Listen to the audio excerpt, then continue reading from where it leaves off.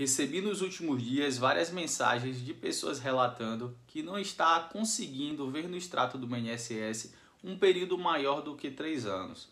Isso antes era algo muito simples, mas após uma atualização recente está dando um pouco de trabalho para conseguir.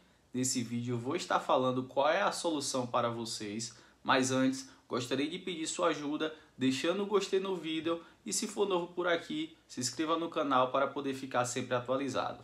Então, essa é a tela do extrato de pagamento. A data de início está maio de 2022 e o fim junho de 2022. E diz que não há crédito para o período informado. Até aqui tudo normal. Mas se eu for mudar a data do início do período, colocar o início em 2015, ou seja, 7 anos atrás, e clicar em buscar, vai aparecer que o período consultado não pode ultrapassar 3 anos. Esse é o problema Antes não existia um limite para ver e agora resolveram dificultar as coisas. Mas a solução é o seguinte: para vocês conseguirem ver o período anterior, basta fazer a consulta de 3 em 3 anos.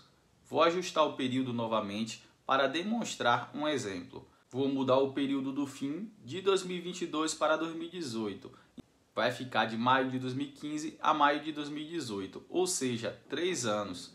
E após clicar em buscar, vocês podem observar que não aparece que não pode ser consultado um período que ultrapasse os três anos.